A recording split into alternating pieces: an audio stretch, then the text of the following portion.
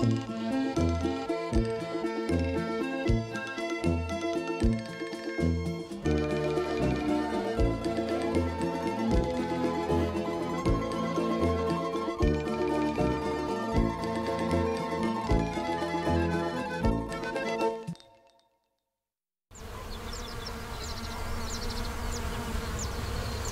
The Chelyabinsk region is full of sprawling woods and forests, so it's hardly surprising that the locals have developed a taste for country sports.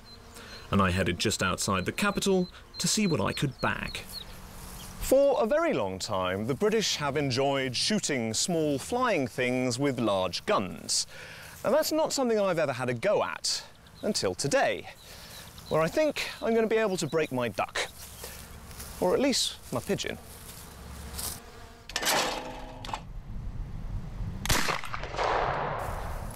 I'm pretty sure that that sign means I really do not want to be in this area, so I'm going to hurry off. Of course, being kind and gentle souls here on Discovering Russia, the pigeons we were after were all artificial, and Marat was my crackshot instructor. Hey there, my name's Marat. The club's been open for more than 10 years, and it's the most popular in the area. And soon, I was ready to blow away some clay Locked and loaded, as Bruce Willis might say. Плотно прижали на уровне плеча. Вот так, голову плотно прижали к прикладу. Okay. And I'll take a little beginner's luck wherever I can get it. you never believe it. First time, first hit. Can I carry on? Отлично. Two from two. I could get to like this. According to Marat, the secret is to shoot the clay right at the top of the arc. Don't turn your head, only look down the sights. And before long, I was ready for a solo effort. Okay, so I'm going to see if I can load the thing myself now. And we're ready to shoot. I think this must be the most fun you can have with a deadly weapon, and you can even pick up a few tiny mementos. Well, I think that counts as a pretty successful first hunt. And of course, I need to take home a trophy or two. What, what? I might have mastered the shotgun, but you don't really want to bump into someone with one on your afternoon hike. If I was going to take a weapon with me, I needed something a little smaller. With all of the Chelyabinsk region's wide open spaces and countryside, it never hurts to have a good knife on you. But if you are going to survive in the wild, why not do it with a little bit of style? Because here, they've been making Russia's most beautiful blades for almost 200 years. Zlatoust swords are famous for their quality and decorative engraving. For more than a century, local bladesmiths were the only official suppliers for the Russian army and navy, as well as the Tsar's court. The history of the modern factory dates back to the late 90s, but its designers have a heritage that appeals to weapon buffs around the country, and I was going to watch them make me a knife. When this chap cools it with a special coolant and sands it down to the normal shiny appearance of the steel. Once the blade has been filed and shaped, the rest of the components are all assembled by hand. So this, This is a mhm. dagger. so this dagger's just been put together and checked, fitted into its bronze scabbard here, brass scabbard, sorry, with a brass handle. And that's what it looks like now. And you certainly wouldn't want to be on the wrong end of that, 'cause that is sharp. Assuming everything passes inspection, the new blades are then sent to the factory artists, where they're given an individual design. This black paint-like substance is actually a acid-resistant lacquer, and when the blade is galvanized, this little bit, which isn't covered, will turn golden, and this little bit will stay silver, so you get the distinctive emblem.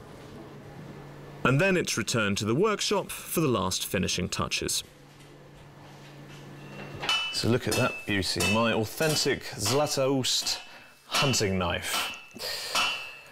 Just gotta hope I never need to use the thing now. With my newfound weapon, the Chelyabinsk wilderness held no fears. And if you're looking to get away from it all, this is the place for you. Wow. Now that was worth the trip. So I've made it to Zorat Kul, the highest mountain lake in the Urals, which is considered to be one of the most beautiful and unique landscapes in the whole country. The lake is 724 metres above sea level and attracts more than 60,000 tourists during high season. And it's so clean that you can drink from it. Thirsty guy here. Dobry Hello, my name is Sergey. Sergei is one of the park rangers at Zyuratkul, and he's also an expert on the local flora and fauna. The national park is a safe haven for many animals. Sometimes bears can even be seen on this trail. They hide in the grass and wait for tourists. There are many moose and hares here. There are also many roe deer and foxes, plus a host of birds, wood black and hazel grouse. And if you find that the ants have carried off your picnic, Sergei can provide a wild banquet of sorts. Alpine cucumber. Ну, ну, ну. No? What так можно есть, Алпайн, да? ага, алпайн.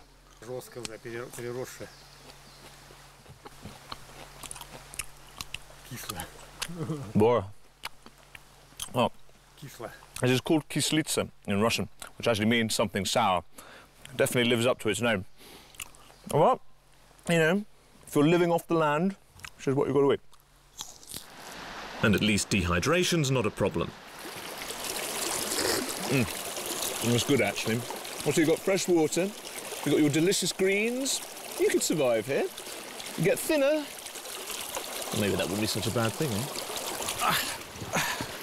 With a few alpine cucumber snacks in my pocket, I headed out of the forest. But I was still sticking close to the water. The Chelyabinsk region has always been an important industrial centre for Russia, and that noise tells me I should be quite close to a special bit of engineering. And as long as you don't look down too often, you should be able to walk right over it. Well, I don't think it's going to pass a health and safety inspection, but this old bridge means I'm in the right place because underneath these very rickety boards is the longest serving hydroelectric dam in the country. For over a hundred years, the station here has been lighting up the local community. First powering the old ferro alloy factory, and now it's the only electric source for two nearby villages. And Chief Engineer Anatoly is the man in charge. This looks like a knowledgeable chap. Anatoly's worked here for the best part of 20 years, and now manages the power station on his own. But the equipment's been here far longer than him. That's been going since 1909, the same system, still working today. And if he needs to crank up the juice, he just turns the wheel. So according to how much electricity they need to generate, this controls the amount of water that flows through here. And obviously the more they let in, the faster the wheel turns, the more they can generate. And with equipment this reliable in place, there's no reason it couldn't last another hundred years.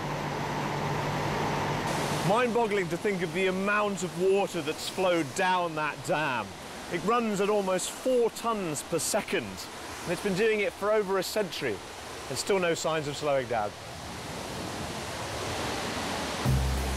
It was almost time for me to leave the Chelyabinsk region, but before I went, I thought I deserved a trip to one of the area's lakeside resorts.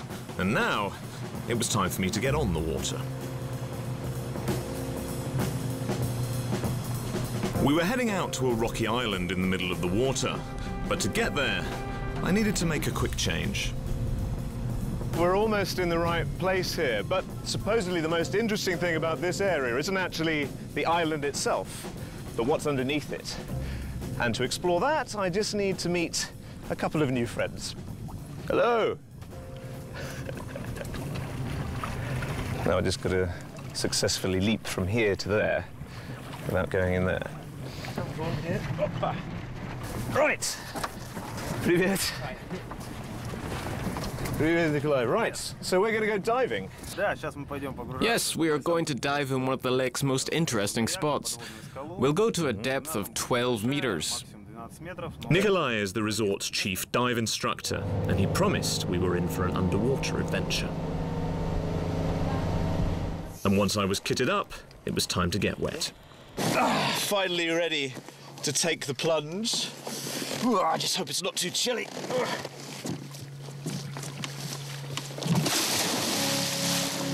It certainly wasn't warm, but the full wetsuits meant we were able to stay down for quite a while and take a proper look at the island.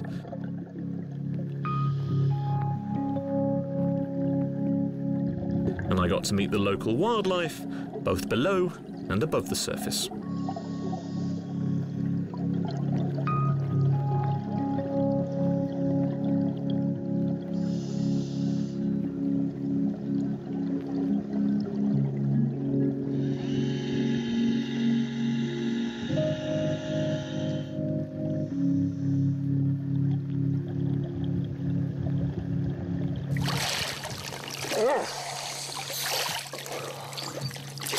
Okay? Whew.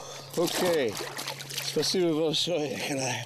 Ah, well, it's not quite the Great Barrier Reef down there, but it's definitely the best dive that I've done in Russia. Ah, and I finally got my water sports fix in for the trip. Whew. Time to relax, I think. Whew. It had been a long journey around the Chelyabinsk region, and I felt I'd earned a little R&R. This is a stunning part of the country, and it's a place where you can experience both European and Asian hospitality among some of Russia's most beautiful scenery.